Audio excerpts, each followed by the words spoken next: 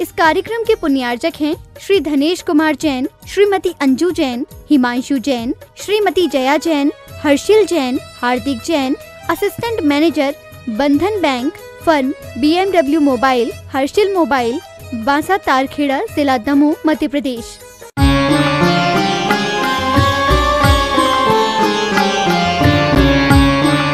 इस संसार की किसी ने कोई रचना नहीं की।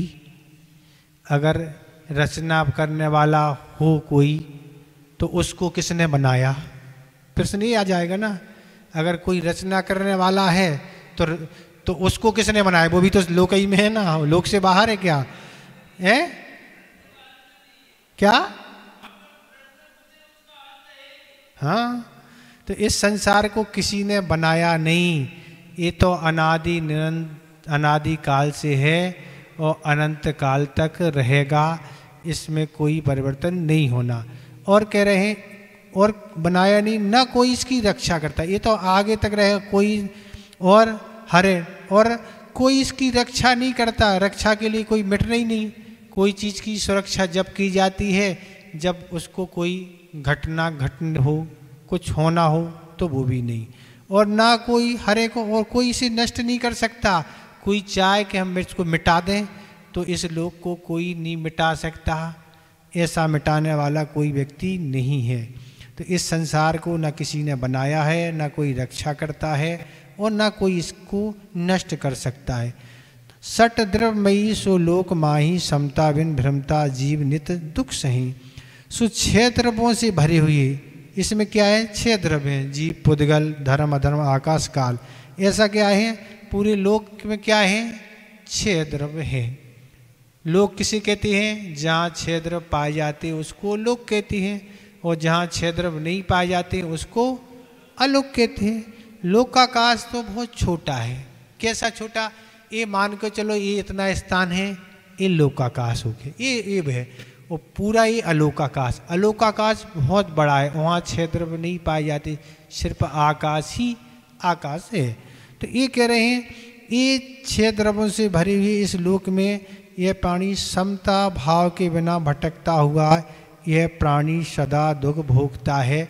सीधी इनने एक ही बात कह दी कि इस संसार में जो भी जीव दुख उठा रहे हैं, उसका कारण क्या है? समता का अभाव। दुख उठाने का कारण क्या है? समता का नहीं होना। इस संसार में भटकने का कारण क्या है? क्षमता नहीं होना। पल पल पे प्रतिकार करना। पल पल में आकुल व्याकुल होना। समता का भाव क्या है? सब कुछ सहन करती चली जाओ। कब तक महाराज? जब तक मोक्ष ना हो जाए। और कहा? तब तक करनी पड़ेगी। समता के बिना और कुछ है ही नहीं। इसलिए क्षमता को बढ़ाने का अभ्यास करती चली जाओ। प्रतिकार भी जहाँ आवश्यक बहुत ज़्यादा है वहाँ। प्रतिकार भी करो। जहाँ सैन हो जाता है, वहाँ क्षमता रखो। तो काम बनेगा, वो नहीं तो कहीं कुछ होने वाला है ही नहीं। तो इस तरह से कर्म के उदय में तरह के सुख भी होते हैं, दुख भी होते हैं, संयोग भी होता है, वियोग भी होता है, बहुत सारी चीज़ें होती हैं, पर उसमें संक्लेश ना करना, यही भाव के आचार्य महाराज ने एक बार कहा था, जो हम सामयिक पाठ का मंगलाचरण करते उसमें एक श्लोक आता है, अट्ठाईस, उनतीस, नंबर तीस का होगा लगभग। उसका यही भाव है कि स्वयं कृतम कर्म यदात मनापुरा फलम तदीयम सुरा। हमारे द्वारा जो पूर्व में किया हुआ कर्म है, उसका फल मिल रहा है वो क्या? ये बस आचार्य जी कहते इसकी ही माला फेरो हमने जो किया था, उसका ही फल उदय में आ रहा है और अब हमको स्वयं उसको भोगना है। भोगने वाला कोई नहीं है। जब मैंने स्वयं किया है तो मुझी को ही भोगना पड़े। ये श्लोक की आचर्षी कहते हैं, माला फेरो। इसका विचार करो, हमारे द्वारा किया हुआ। अगर एक स्थान पर पचास लोग बैठे हैं और पचास में एक व्यक्ति से बुरा बोला जा रहा है या बुरा कहा जा रहा है, उनचास से कुछ नहीं कहा, क्यों नहीं कहा जा रहा? क्योंकि उनचास का नहीं उदय है, कर्म का उदय एक का है। तो घर में भी है, और जगह है एक के साथ ही गलत व्यवहार हो रहा, बाकी से नहीं हो रहा तो जिसका कर्म का उदय है, उसके साथ होगा ना? सबके साथ होगा क्या? अपन के पक्षपात पक्षपात नहीं। कर्म जिसका है, उसके साथ होगा। ऐसे ही है, नगर की बात कहें, कहीं की बात करें, एक नगर में होते हुए, एक घर में होते कई लोग सुखी हैं, और कई लोग दुखी दुखी हैं तो कर्म का योग है। तो इसलिए कह रहे हैं कि समता भाव नहीं रहने से ही सब कुछ स्थिति घटित हो रही है कि ये समता भाव के बिना ये भटक रहा है। अगर इस संसार की भटकन को समाप्त करना इनका कहना है तो क्या है? क्या करना होगा? समता को रखना होगा, समता को बढ़ाना होगा। उस समय ये सुदर्शन सीट का कथानक याद रखो। सुदर्शन सीट पर कैसी परिस्थिति स्थिति बनी, उस रानी के साथ, और फिर वो भी जो रानी की दासी थी, वो भी बेस्या बन गई। किस तरह होने के बाद भी उन्होंने किसी तरह का प्रतिकार नहीं किया, और प्रतिज्ञा के फल स्वरूप ही क्या हो गया? देवों के द्वारा फिर उसकी रक्षा की गई। अंतिम ग्रेविक लौ की हद पद अनंत बिरिया पायो। इस जीव ने नौ गेवरिक पद नौवे गिरित तक पद अनंत बार पाई अहिम और पर लाधो दुर्लभ मुनि निज में साधो, किंतु सम्य ज्ञान प्राप्त नहीं हुआ। ऐसे दुर्लभ सम्य ज्ञान को मुनिराज ने ही अपनी आत्मा में धारण किया। तो इसमें बोधि दुर्लभ भावना में कह रहे हैं कि इस जीव ने नौ गेरिक में क्या है? तक अनंत बार जन्म लिया। तो नौवें गिरेविक कहाँ होते हैं? तो नौवें गिरेविक सोलह सुर्ख के ऊपर होते हैं और नौवें के जाने वाले मुनिराज ही होते हैं। कौन होते मुनिराज? तो जो सम्यक दृष्टि मुनिराज हैं, वो भी जा सकते हैं और जो सम्यक दृष्टि मुनिराज नहीं हैं केवल द्रव से ही इस लिंग को धारण करते हैं, भाव से उनके पास कोई व्रत नहीं होते हैं। प्रथम उनका ग्रस्तान मिथ्या दृष्टि होता है, पर वह व्रतों को निर्दोष पालन करती हैं। कितना? तब जाते हैं ना, ऐसे नहीं जाते हैं। अणुवृत्ति भली द्रव और भाव से है, पर वह सोलह स्वर्ग से ऊपर नहीं जा सकता। नौवे ग्रेक से जो भी जाएगा, वो मुनि अवस्था में ही जाएगा। तो बहता तो मुख्य रूप से ज़्यादा मात्रा में तो वहाँ नौवे ग्रेक जाने वाले कौन होते हैं? जो भाव और द्रव से मुनि होते, वही जाते। पर अल्प मात्रा में कौन जाते हैं? जो केवल द्रव से व्रतों को धारण करते हैं, पर उनके पास क्या सम्यक दर्शन, सम्यक ज्ञान और सम्यक चारत कुछ भी नहीं। तो क्यों महाराज, क्यों से चले जाते हैं? तो आचार्य कुंद कुंद महाराज ने समय सार में एक गाथा दी है। उन्होंने लिखा कि ऐसे कौन जाते हैं? तो भोगों के लिए। किस लिए? वो तप साधना किस लिए करते हैं? कि हम वहाँ नौवे गिरे जाएँगे, अच्छे अच्छे भोग मिलेंगे। इसलिए उन्होंने लिखा, कम्मक, कर्म के क्षय के लिए नहीं करते हैं वो तप और साधना। भोगों की प्राप्ति हो, इसलिए ऐसे वेश को बाहर से धारण कर लेते हैं। और वैसे तो को पता ही नहीं पड़े, कौन भव्य है और कौन अभव्य है। व्रत को धारण कर लिया और नहीं है, सम्यक दर्शन नहीं है तो ऐसे हो जाता है। तो इसमें कहने को ऐसे वह चले जाते हैं, पर चले जाने से उसका कुछ भी विकास होता नहीं। जाने के बाद वापस तो सबको यहाँ क्या, उनको आना ही पड़ता है। तो इसमें ये कहने वाले हैं कि मुनिराज जी जाते हैं और ऐसे समय तो अहमेंद्र पद प्राप्त करते। क्या कह रहे हैं इस जीव ने नौवे में तक अनंत बार अनंत बार क्यों? कि अगर जो भावलिंगी मुनिराज होते हैं, वो अधिक से अधिक बत्तीस बार ही भावलिंग धारण कर सकते। बत्तीसवें बार में तो नियम से उनको मुक्ति हो ही जाती है। इस संसार में वह नहीं रह सकती। पर ये अनंत बार कह रहे तो अनंत बार तो यही है मिथ्यात के साथ। सम्यक दर्शन नहीं होता तो अनंत बार मिथ्यात के साथ यह बीस धारण कर ली थी आचार्य कुंद कुंद महाराज ने अष्ट पहाड़ में लिखा है, मुनि राज को संबोधन करते, हे मुनि, ऐसे तो सुमेरु पर्वत के समान पिचियो कमंडल की अनेकों बार ढेर लग चुके हैं।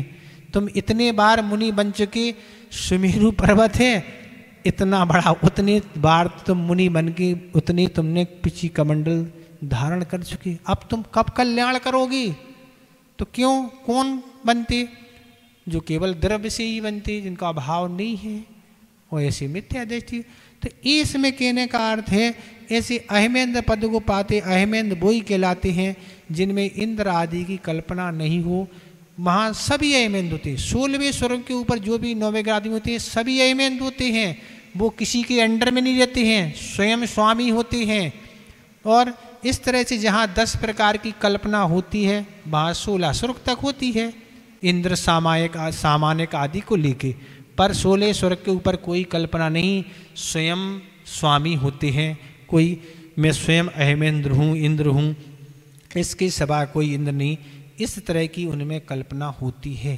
तो ऐसे कह रहे हैं इस जीव ने नौवें ग्रेक में अनंत बार पद पा लिया, किंतु सम्यक ज्ञान प्राप्त नहीं हुआ। ऐसे दुर्लभ सम्यक ज्ञान को मुनिराज ने ही अपनी आत्मा में धारण किया। क्या कह रहे हैं? ऐसा दुर्लभ सम्यक ज्ञान ज्ञान दुर्लभ क्यों कह रहे हैं? क्योंकि जब सम्यक दर्शन नहीं हुआ तो सम्यक ज्ञान भी नहीं होगा। अगर सम्यक दर्शन होगा तो नियम से सम्यक ज्ञान तो साथ में होते ही है। उदाहरण हमने दिया था। चौथी ढाल में अभी आया था कि सम्यक ज्ञान और सम्यक दर्शन, सम्यक ज्ञान साथ में ही होते हैं। तो कि सम्यक ज्ञान प्राप्त नहीं हुआ तो ऐसे दुर्लभ सम्यक ज्ञान को मुनिराज ने ही अपनी आत्मा में धारण किया। तो कह रहे हैं, ऐसा सम्यक ज्ञान मुनिराज ने ही अपनी आत्मा में धारण किया तो कहने का अर्थ ये है कि सम्यक ज्ञान तो गिरस्ती भी धारण करती है। पर सम्यक ज्ञान मुनिराज जब सम्य दर्शन नहीं हुआ तो ज्ञान नहीं है, पर सम्यक ज्ञान नहीं हो कि ऐसा दुर्लभ जो सम्यक ज्ञान मुनि महाराज अपनी आत्मा में धारण करते हैं और उसका महत्व समझते हैं। तो ये कहने का अर्थ है कि ज्ञान महत्वपूर्ण नहीं है, ज्ञान तो किसी को भी हो सकता है, पर सम्यक ज्ञान महत्वपूर्ण है। सम्यक ज्ञान वही है। भगवान ने जो जिस रूप में कहा है, उस रूप में उसको जानना वही सम्यक ज्ञान है। अपने अनुसार जानना कोई सम्यक ज्ञान नहीं है। हम किसी चीज़ को अपने अनुसार सोचने लगे, नहीं, हमारे हिसाब से तो ये है। ऐसे यहाँ कोई हिसाब किताब नहीं चलता। भगवान ने जो कहा है कि द्रव छः ही हैं, जीव द्रव का यही स्वरूप है। अजीब का यही स्वरूप है तत्व का यही स्वरूप है, उस रूप से जानना यही सम्यक ज्ञान है। तो इस तरह से ये बोधि दुर्लभ भावना है और हम तो यही कहेंगे कि भावनाएँ तो अपने आप में सभी महत्वपूर्ण है बारह भावना, पर बोधि दुर्लभ भावना तो ऐसी भावना है जो अपने आप को झकझोर देती है। आचार्य पूछपात महाराज इस बोधि दुर्लभ भावना के बारे में सरबार सिद्धि में क्या लिख रहे हैं? आप सुने। दस बारह लाने हैं, पर एक एक शब्द कितना महत्वपूर्ण है। इस मनुष्य पर्याय कितनी कठिनाई से प्राप्त होती है, इसके बारे में है। क्या कह रहे हैं? एक निगोद शरीर में सिद्धों से अनंत गुणे जीव हैं। कितने कह रहे हैं? एक निगोद जीव में कितने हैं? सिद्धों से अनंत। अभी तक जितने सिद्ध बन चुके, अभी एक निगोदिया खाली नहीं हुआ। क्या हो गया? अभी तक इतने जीव सिद्ध बन चुके हैं, पर एक निगोदिया अभी खाली नहीं हुआ ना होगा। इसे क्या कह रहे हैं? एक निगोद शरीर में सिद्धों से अनंत गुणे हैं। एक निगोद शरीर में सिद्धों से अनंत गुणे जीव हैं। और इस प्रकार स्थावरों जीवों से यह सब लोक भरा हुआ है। पूरे लोक में क्या, तीन लोक में क्या है? तरह जीव भरे हुए हैं। ऐसा कोई भी स्थान इस दुनिया में नहीं है जहाँ स्थावर नहीं हो, क्योंकि जो तिसनाली है लोक के बीच में, उसमें ही तरस रहती हैं। बाकी जगह तो पूरा क्या है? स्थावरी है तो चौदह राजू चौड़ी तृष्णाली है, उसमें कम कुछ कम, क्योंकि सातवें नरक के नीचे एक कलंका नाम की पृथ्वी है। आचार्य अकलंक देव महाराज ने राजवार्तिक में उल्लेख किया। तो उसमें निगुदिया जीव पाए जाते उसको अपन छोड़ देते हैं। इसलिए तेरे राजू में क्या है? तरस जीव पाए जाते हैं। बाकी जगह स्थावर हैं। सिद्धों के साथ भी स्थावर जीव रह रहे हैं।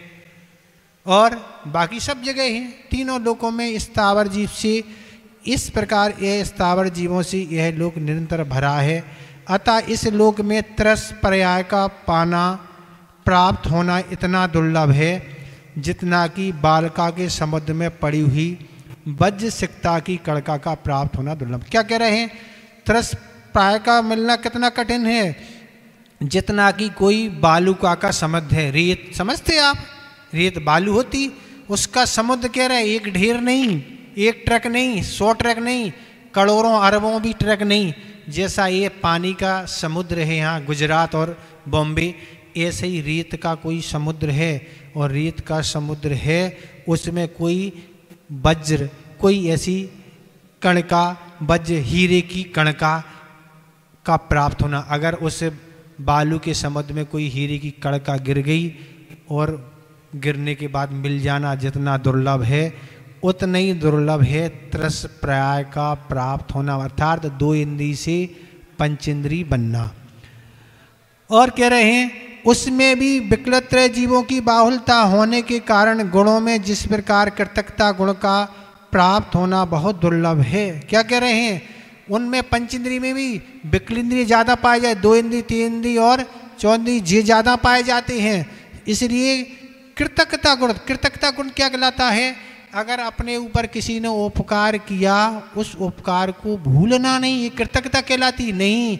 आपने हमारे ऊपर उपकार, इसको भूलना नहीं, ये कृतकता गुण बड़ी मुश्किल से जीवों में पाया जाता है। प्राय करके कृतज्ञता व्यक्ति भूल जाते हैं। जैसी भगवान पर अपनी कृतज्ञता है, भगवान ने अपन को उपदेश दिया, आचार्यों की कितनी कृतज्ञता है, आगम की रचना की, गुरुओं की तो इस तरह से सबकी अपन पर, सबने अपन पर उपकार किया। अगर ये उपकार नहीं होता तीर्थंकर भगवान का सामान केवलियों का, आचार्यों का तो अपन आज यहाँ नहीं बैठे होते। क्योंकि अपन को अच्छी चीज़ सीखने मिली तो आए यहाँ तो आज अच्छा अपन पुण्य संचय कर रहे हैं। तो अगर ये अपन को उपदेश ही नहीं मिलता, आचार्य ने जिनवाणी लिखी वो उपदेश नहीं मिलता तो हम क्या करते? फिर तो हम पाप से बच ही नहीं पाते और पुण्य के कार्य को अपनाते। तो ये विकलंदी उसी प्रकार पंचेंद्री पर्याय का प्राप्त होना दुर्लभ है। कृतकता का जैसा मुश्किल है, वैसे ही पंचेंद्री बनना बहुत दुर्लभ है। पूरी इंद्री होना कहने को तो पंचेंद्री ही कहते हैं। कहते हैं नहीं, कान भली खराब हो कहते पंचेंद्री है। तो अगर उपकरण खराब है और वह काम नहीं कर रहा तो भी हमें सुनाई नहीं देता, दिखाई नहीं देता। इंद्री तो मिल गई, उसका क्षम तो है पर उसका क्या है? बाहरी उपकरण खराब है। काम नहीं करता, अब क्या करा? सुनाई नहीं देता। तो उपकार की बात क्या? तो पंचनी, उसमें भी पशु, मृग, पक्षी और सरीसृप त्रिंचों की बालता। पंचेंद्री में क्या है? पशु ठीक है, मनुष्य कितने हैं? संख्यात हैं। त्रिंच कितने होते हैं? असंख्यात। पंचेंद्री में भी त्रिंच ज़्यादा पाए जाते हैं। मृग, पक्षी, सरीसृप, त्रिंच। स्वात्मोत लब्धि शिव शोक सिद्धि। चिंतामणि चिंतित वस्तु दाने तुम बंदमानस ममास्तु